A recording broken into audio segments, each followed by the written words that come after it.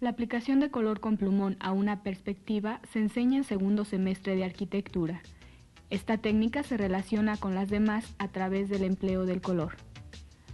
Para la realización de buenos trabajos utilizando la técnica del plumón se necesita conocer el uso básico.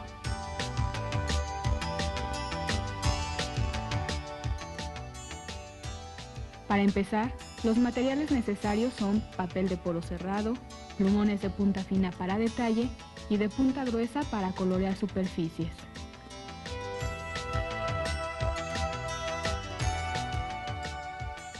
Antes de aplicar color a la perspectiva o a cualquier otro trabajo, es aconsejable probar todos los plumones en papel blanco similar al que vamos a utilizar en la perspectiva para identificar los colores y tonos que se van a emplear.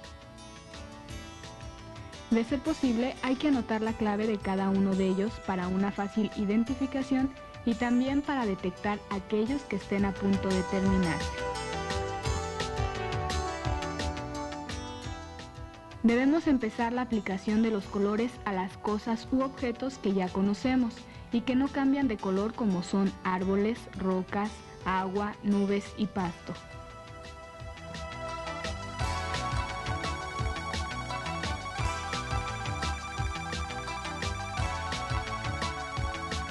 Terminada esta etapa, nos dedicamos a colorear la construcción o motivo principal.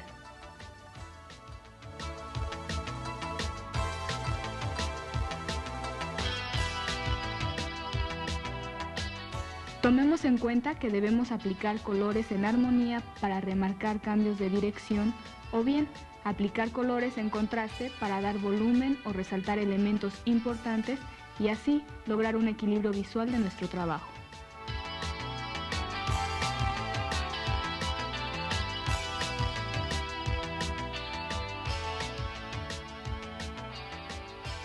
Los colores más oscuros los aplicamos de preferencia a la parte baja de las cosas, donde no llega la luz directamente, y en los sitios cercanos al punto de fuga. Los colores claros en la parte superior o donde se supone da la luz directamente.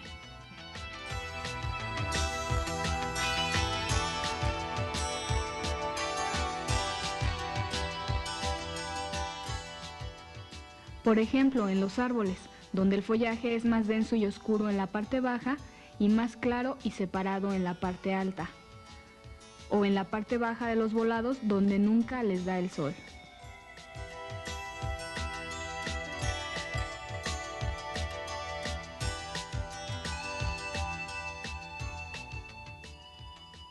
Podemos dejar algunos elementos en blanco aplicando solamente algunos tonos grises o azules muy claros para simular algunas sombras de nubes o árboles sobre los muros.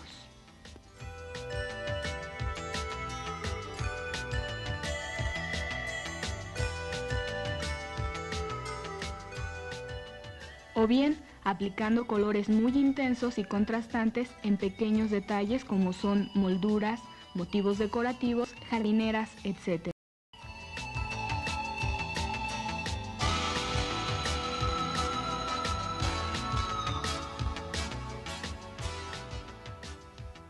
Los cristales casi siempre los representamos en colores muy oscuros, llegando inclusive a aplicarles el color negro.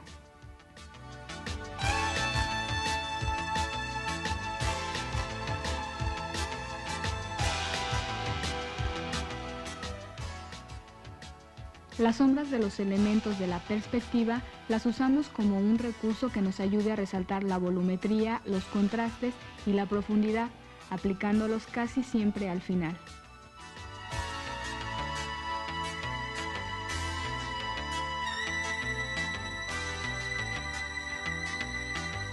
Algunos elementos de ambientación como coches, figuras humanas, etc., los coloreamos por lo general en colores vivos y contrastantes para darle vida a la perspectiva.